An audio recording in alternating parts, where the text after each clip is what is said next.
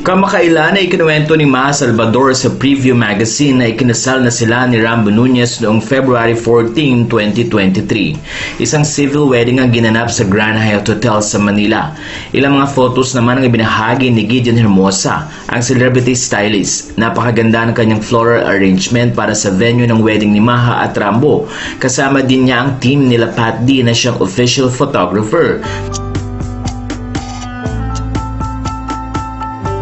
Narito ang kwento ni Gideon. It's been said that the truest of love is filled with slivers of magical moments. We've witnessed one in this dreamy, intimate civil wedding between Maha and Rambo Nunez. A breathtaking moment of pure joy between our newlyweds. Love knows no bounds and echoes. You brought so much to us who saw you make your first vows. Congratulations, Maha and Rambo. Wishing you a life full of love and happiness.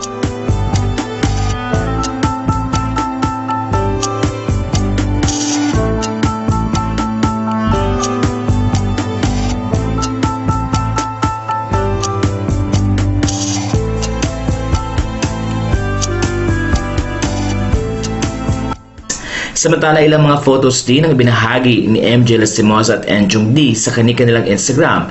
Ito ay kuha last July 31, 2023 sa wedding ni Rambo at Maha naman na ginanap sa Bali, Indonesia. Matatandang na ikwento ni Maha na kailangan nilang magkaroon ng civil wedding sa Pinas dahil hindi acknowledge ng ating bansa ang magiging kasal nila sa Bali, Indonesia. Walan po masasabi niyo sa store na ito.